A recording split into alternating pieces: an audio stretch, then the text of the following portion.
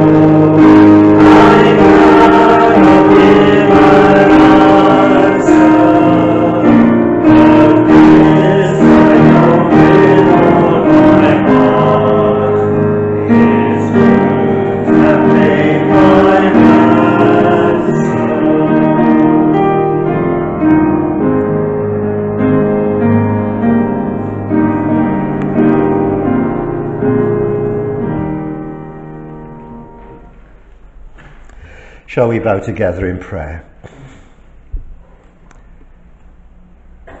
Our Father, as we come together today on this very special day of the year, as we remember those who fell in war, it does give us joy to think of one who willingly and gladly gave up his life for each one of us.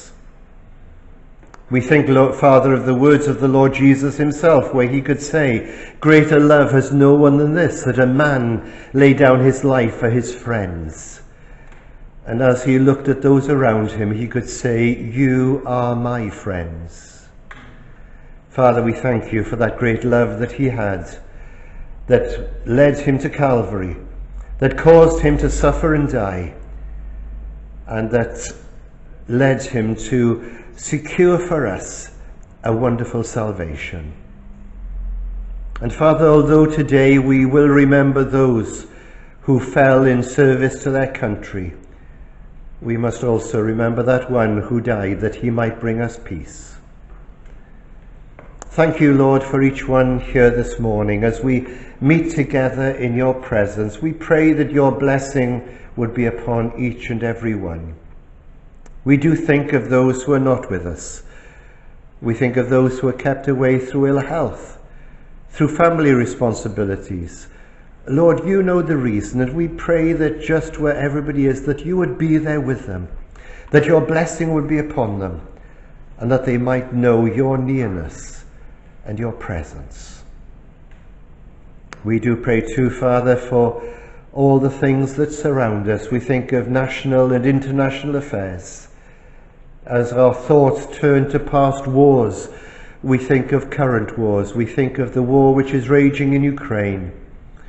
We think of unrest in many parts of the world. Lord, be near to those who are going through times of turmoil and strife. May they know true peace in the midst of turmoil.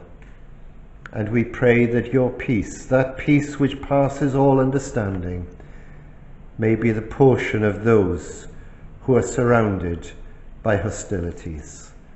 We do pray, Lord, that you would bring peace as a nation to Ukraine.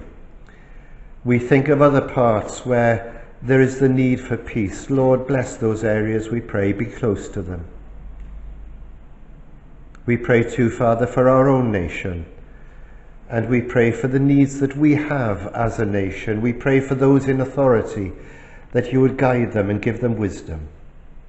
And above all, above all else, Father, we pray that those who lead us may give example by following you. So, Father, we commit this time into your care. Pray that you would draw near to us and speak to our hearts as we ask these things in the name of the Lord Jesus Christ, our Saviour. Amen. now, um, Albert, are you any good at sums? A bit. Well, you can ask Zach, to help you, okay? Oh, hello, Mary. I didn't see you come in. Hi, are you good at sums? Yes, good. Well, I've got a problem. I've got a little story, and um, it's not in the Bible, but it could have been. It's that sort of story, okay?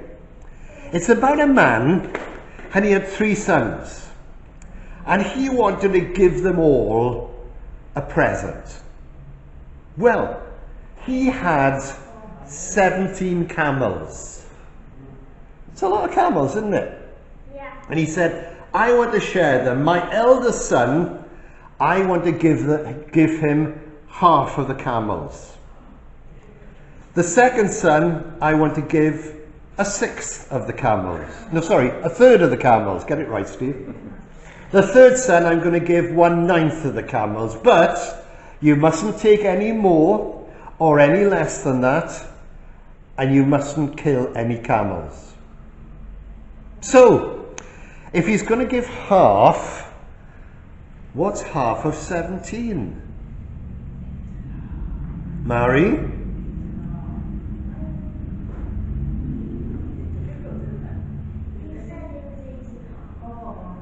Eight and a half? Yeah, it's eight and a half, but you can't cut any camels in half. You can't cut any camels in half, that would hurt the camel. It's not good for camel's health. So we've got a problem, haven't we? What's a third of the camels? Will that go? No. A ninth, will a ninth go into 17? Well, actually it won't, because 17 is what we call a prime number. You knew that, didn't you, Zach? Yeah, yeah of course you did. It's a prime number. It won't divide by anything except itself. 7 and 10. No, that's add, that is, not divide. So we got a problem. And the three sons knew there was a problem. They started to get a bit angry about it. And the eldest son thought, if I could get rid of my two brothers, I could have all the camels. It's not very nice. And the other two started thinking the same way, and they started arguing and fighting. And suddenly, in that family, there was a huge argument. And the dad thought, I didn't want this to happen. What can I do? I know. I've got a very good friend. And he's very wise. I'll ask him for advice how I can sort this out because the dad was no good at maths at all. So he went to see his friend, and his friend was really quite poor. And he said, Listen, this is my problem. And he told the problem. He said, I, I shouldn't have done it this way, but that's the way it worked out. And the man scratched his head and he said, I tell you what, I'll give you a camel. What? I'll give you a camel. I've only got one, but you can have it. So he gave him his camel. So how many camels are there now? I think. I might need to count it. Mary, Um, well, because he's got three sons, maybe you could give it. no, how, how many camels are on there, on the screen now? Add 1 to 17. 18. There's 18 camels there now. Okay. Now he said, divide them up. So half of the camels go to the eldest son. So what's half of 18? I should be asking Peter this, shouldn't I? Mary, Yes, got the nine. nine. She, she lost one. Okay, so nine camels go to the oldest son. Okay, that's nine. Okay. Then he's got to give a third to the next son. So what's a third of 18? Don't know. I'll tell you, it's six. Okay? So it's six camels go to the next son. And a ninth go to the younger son, which is. Two. Well done! That was very quick. Two. You were holding it like this. Oh, did I give it away, did I? Two. And that left one camel, which the man's friend took with him and went home. So you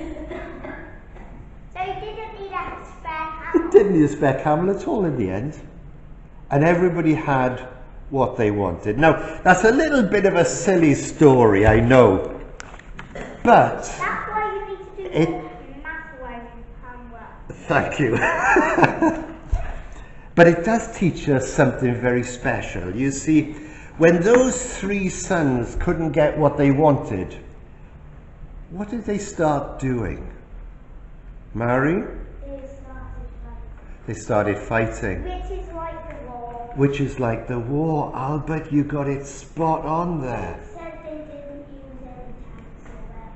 They didn't use any They, tanks or- well, not to start with, but maybe they'd have got into that if it had gone any further. You see, that's where arguments go to. People start fighting. And it doesn't matter if you're talking person to person, or communities, or nations. It all starts with disagreements and somebody wanting something that somebody else has got. That's where wars come from because people want something else. Or they just want to take down the Hmm, yeah. As we think about past wars and present wars, I just want you to watch a little video on the screen. It's called Can There Be Peace in the Midst of War? So let's just watch it.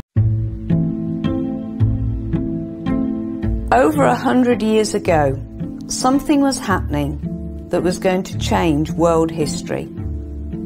That was World War One. Men and women of all ages were involved. People from all countries were involved. Men signed up to be soldiers to go out and fight.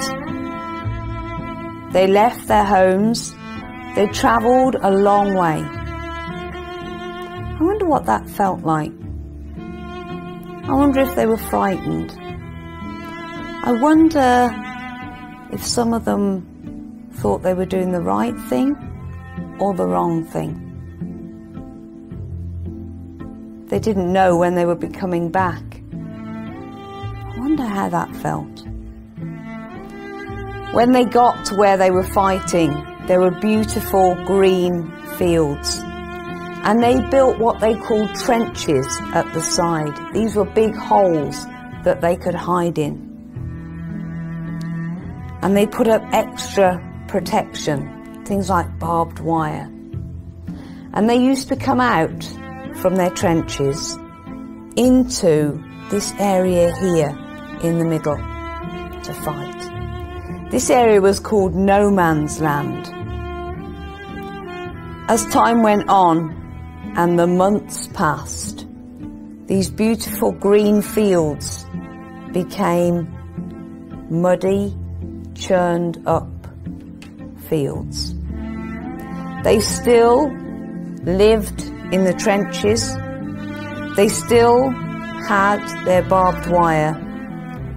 And they still came out to fight one another.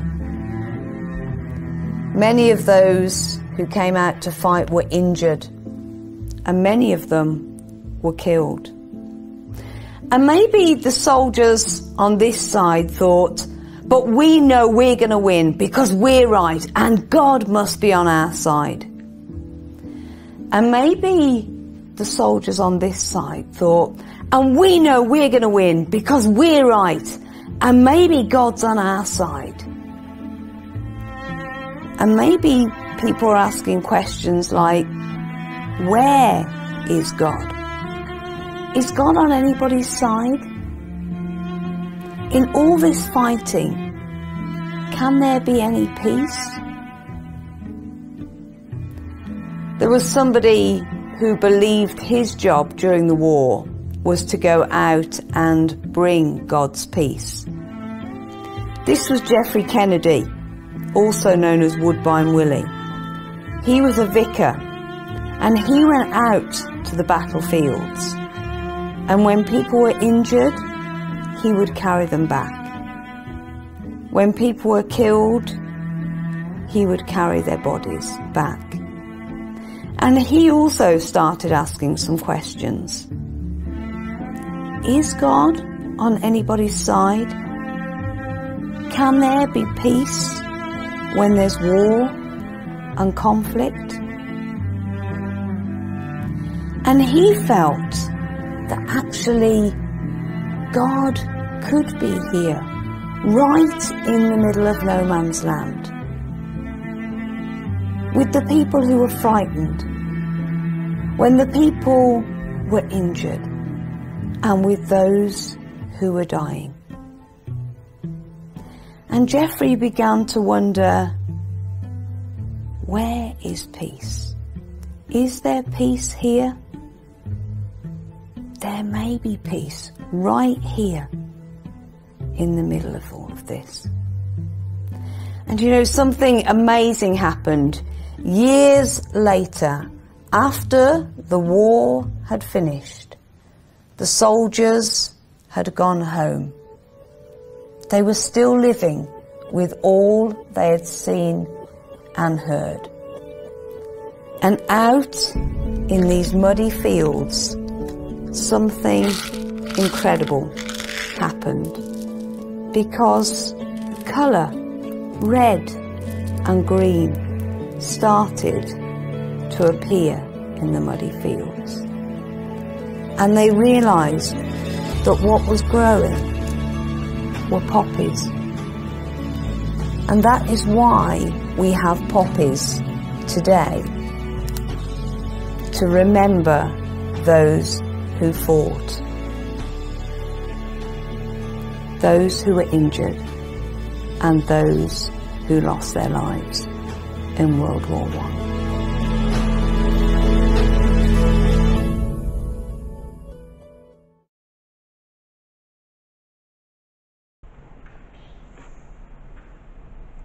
As we remember those who fought and those who fell, perhaps we could just have a, mo- a minute's silence just to reflect for that short time upon those who made an ultimate sacrifice.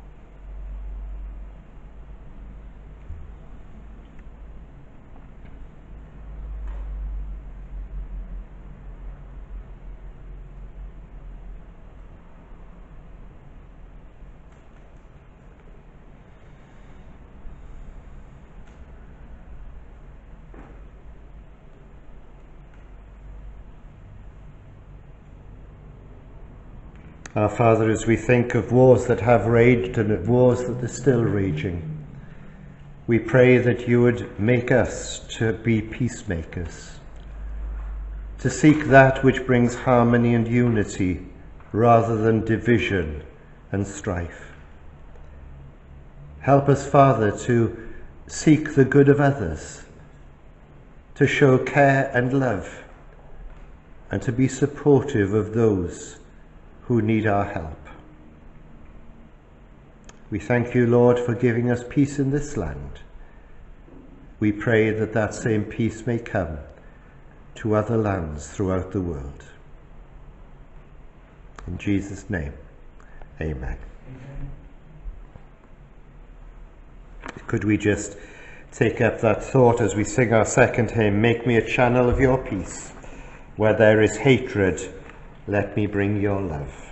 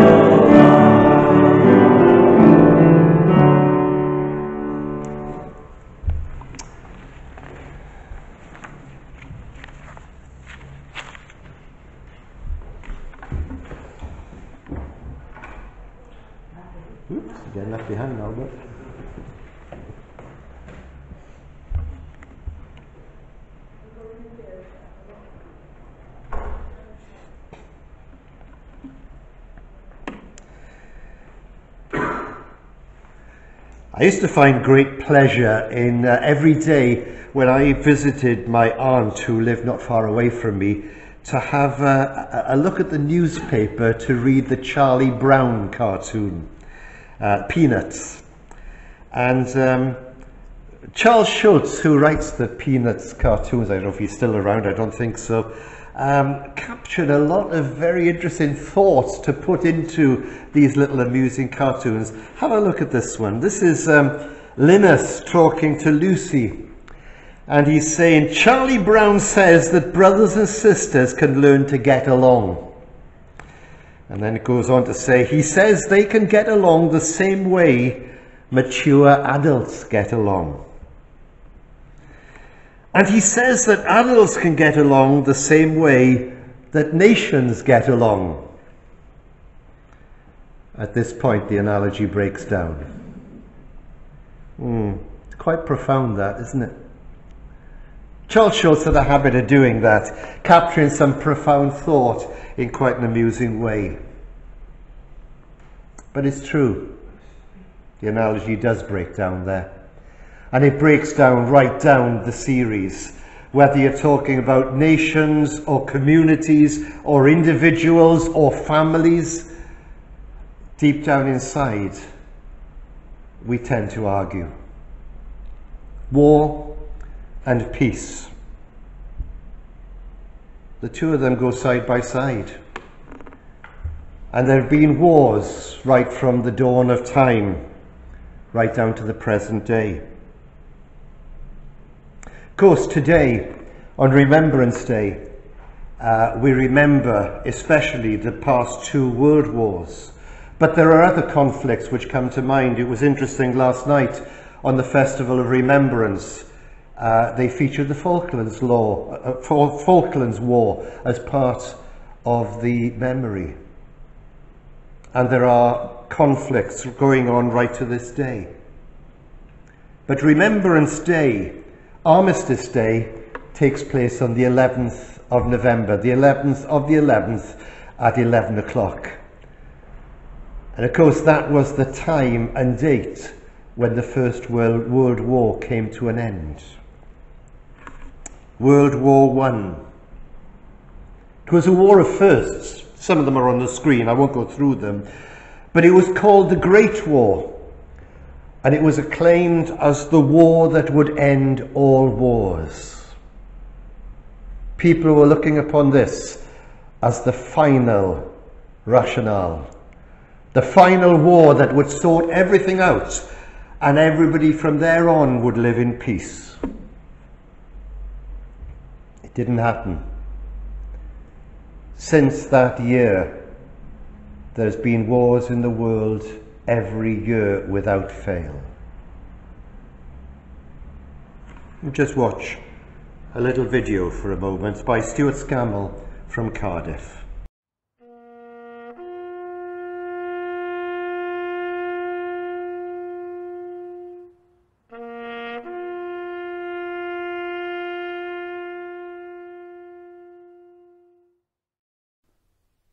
We should never forget those we never did know, those that shed their blood and courage did show, young soldiers that died, their futures erased, so that we'd live our lives in peace and unfazed.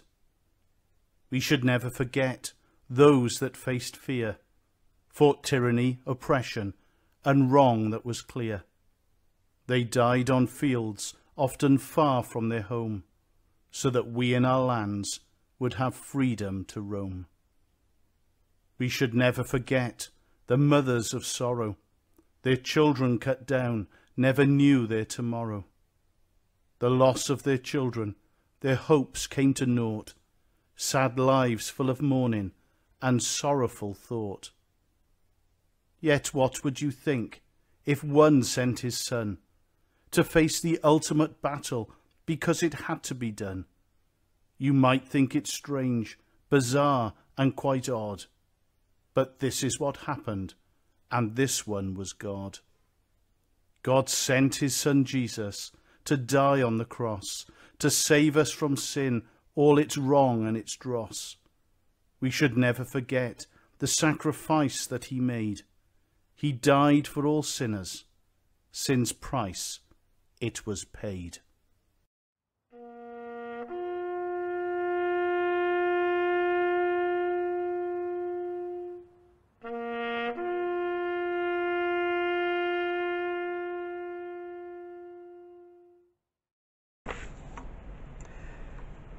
The 1418 war came to an end. The world settled into an uncomfortable sort of peace. But it was only 20 years later that war started to appear once again. And the picture of Neville Chamberlain waving the signed document from Adolf Hitler has become famous. His words were peace for our time. The people of Britain were glad. They still remembered the pain of the First World War, the Great War. They didn't want another conflict, but he was going to come. And suddenly the world was plunged into a second world war, which went on for six long years. And so it continues. Conflict. Conflict that's global. Conflict that's social. Conflict that's personal. Conflict that's spiritual. It's very easy to look across the water and say, why can't they sort out these problems in Ukraine, in Sudan, in here, in there, wherever the problems are? Why can't somebody sort out the problems in the Middle East?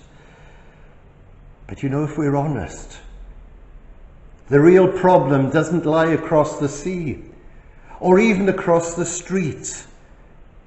It's personal. It's us. It's me. That is the root of the problem. Us as individuals. That's what Linus got hold of in that little cartoon. Yeah, the analogy breaks down on a national level, but it feeds its way down the rest of the chain, right down to us. Neighbours, brothers and sisters, we all feel animosity from time to time, and that can flare up. The poppy, as we were reminded in the video, has become a symbol of peace and hope. And we wear them each year as a memory of those who fell. But what does it speak to us about? I saw this little illustration as I was uh, doing my research for today. And somebody has put it this way that the, the two petals speak first of peace with God and peace within. And as we look at the leaf, which speaks about green and growing, it speaks about peace with others. And that's what I want us to think about this morning. What is peace? Do we know peace? How can we find peace? The problem started not with the First World War, nor with any war that's been raged. It started right back at the dawn of time in the Garden of Eden. For a lack of peace comes with rebellion. And there God had said to Adam and Eve, You may eat of any tree except that which is in the middle. The day you eat that tree, you will die. And they took the tree. They rebelled against God. And there came a state of enmity between man and God. Or you may say that's something that happened a long time ago. Ah, but it happens every day. That's us in our very natures, we rebel against God. God says, You must not do this, and we do it. God says, You must do this, and we don't do it. That's our nature. That's how we are as we grow up. I learned very early with my children that you didn't have to teach them to do wrong things, that came naturally. We had to teach them what was right what was proper, how to live lives that were acceptable in society. Something that's got to be learned. How can we know peace with God? If by nature we're at enmity towards Him, how can we bridge that gap to a holy God? who is far above us in terms of righteousness and goodness.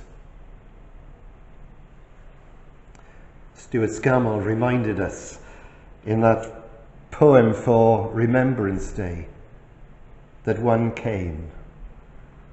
One came to willingly give his life for us. And Paul sums it up so beautifully in Colossians chapter 1. As he speaks about the Lord Jesus Christ coming into this world, he could say, Jesus never ceased to be God. He says, For God was pleased to have all his fullness dwell in him, and through him to reconcile to himself all things, whether things on earth or things in heaven, by making peace through his blood shed on the cross.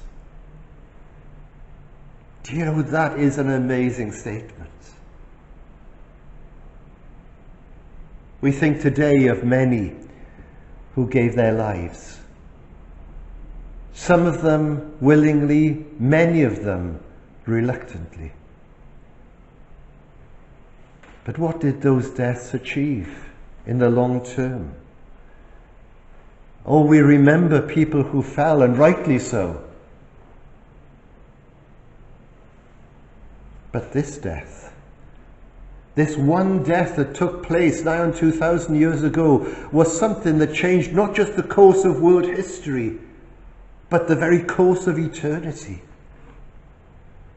Because Jesus made peace through the blood of his cross.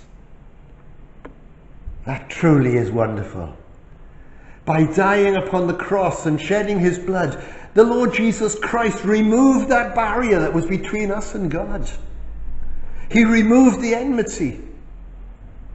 You might say he brought an eternal peace, not one that was fragile and could be shattered in a few years, but one that would last forever.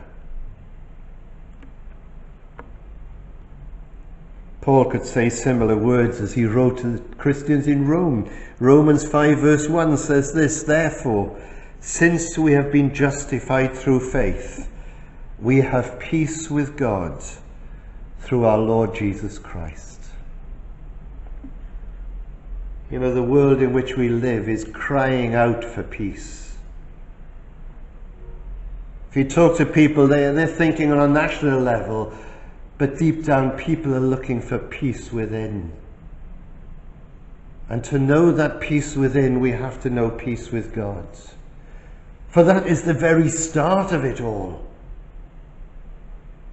Until we're at peace with God, we can't know peace with others. And there is only one way that we can find that path.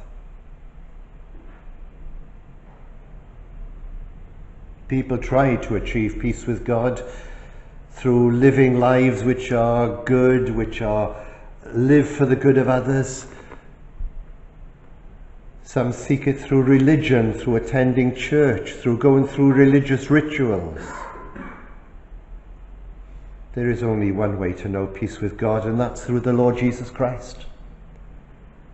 It's through faith through trusting Him as Saviour, by receiving His gift of eternal life, by acknowledging that we have failed, by admitting that we have done wrong, and by asking His forgiveness. Then and only then can we truly know the peace of God, the forgiveness of God in our lives.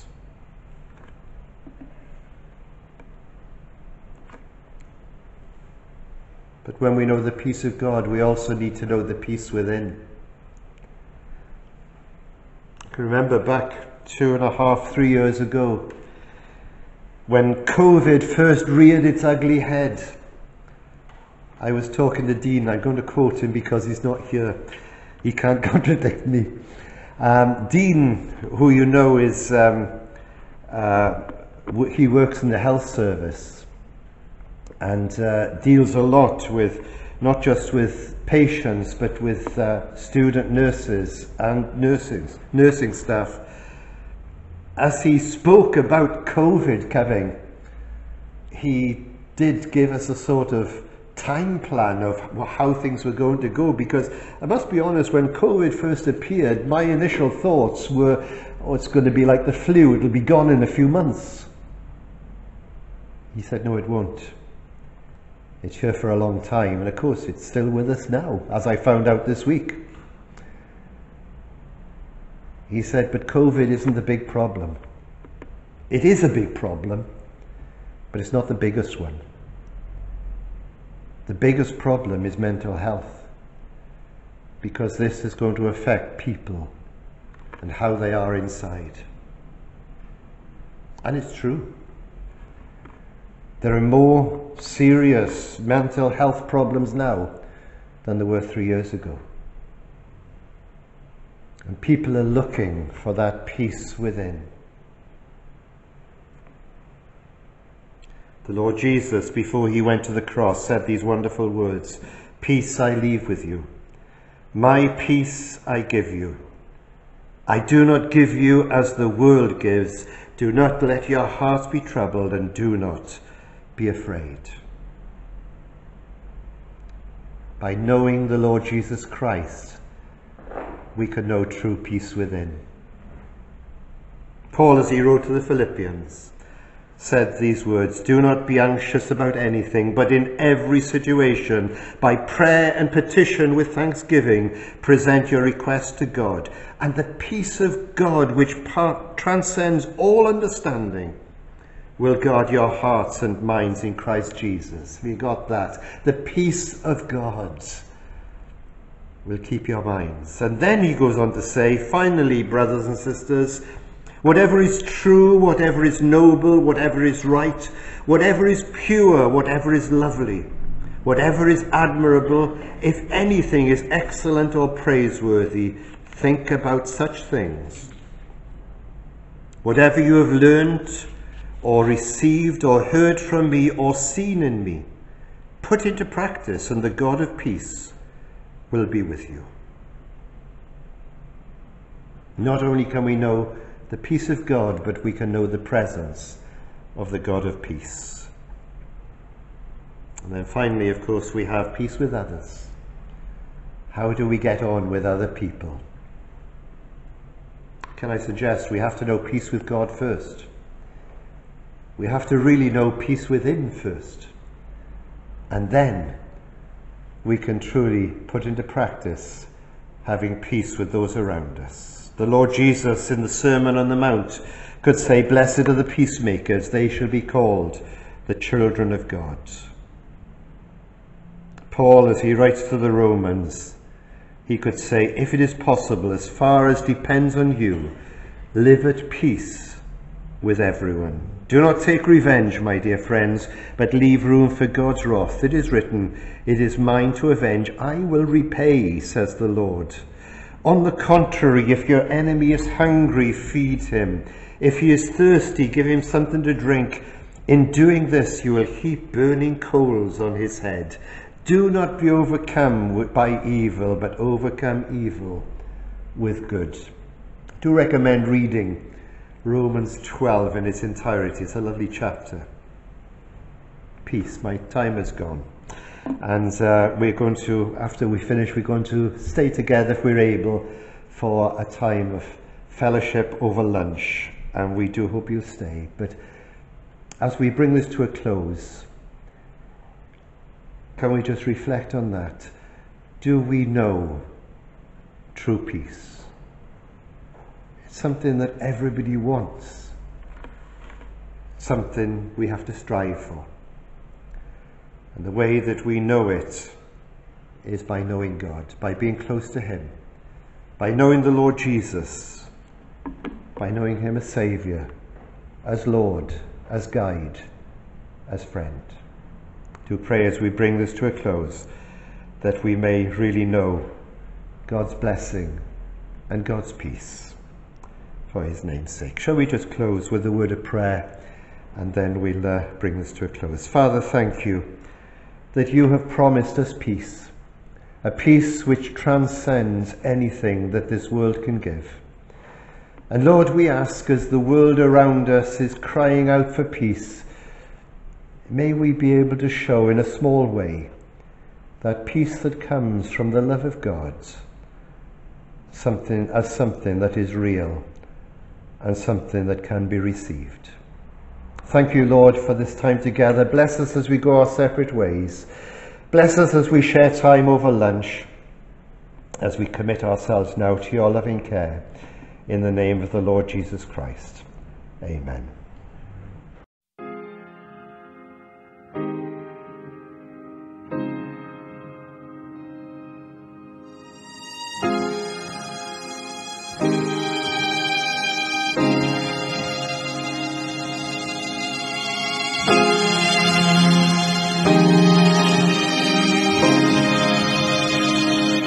Still, my soul.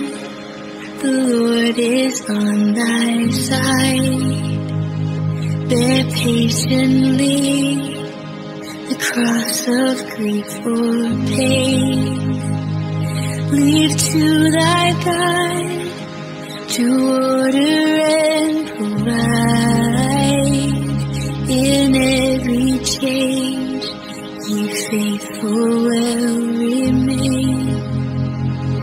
Be still, my soul, thy best thy heavenly tread. Through thorny ways leads to a joyful end. Be still, my soul, thy God doth undertake to guide the future as he the.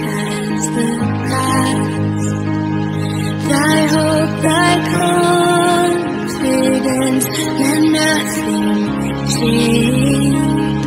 All now mysterious shall be bright at last. Be still, my soul,